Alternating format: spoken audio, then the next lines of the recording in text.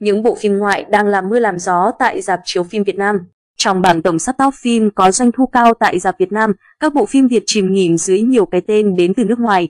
Thị trường phim chiếu dạp Việt Nam đang chứng kiến sự oanh tạc của hàng chục tác phẩm quốc tế với thể loại phong phú. Trong đó, Avatar, bỗng dưng trùng số và ngược dòng thời gian để yêu anh thắng đậm tại dạp. Cụ thể, đến ngày 27 tháng 9, đại diện cho thị phần Hollywood, bản tái chiếu bom tấn Avatar của phù thủy James Cameron thu về 30 triệu USD tại phòng vé toàn cầu trong tuần đầu chiếu lại.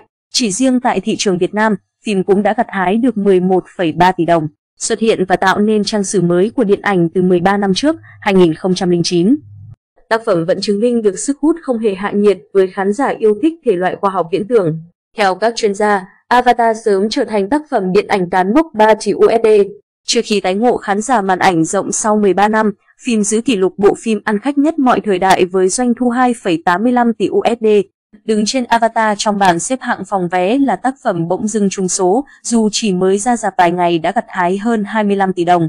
Lập kỷ lục là bộ phim Hàn Quốc có mở màn thành công nhất lịch sử phòng vé Việt từ trước tới nay.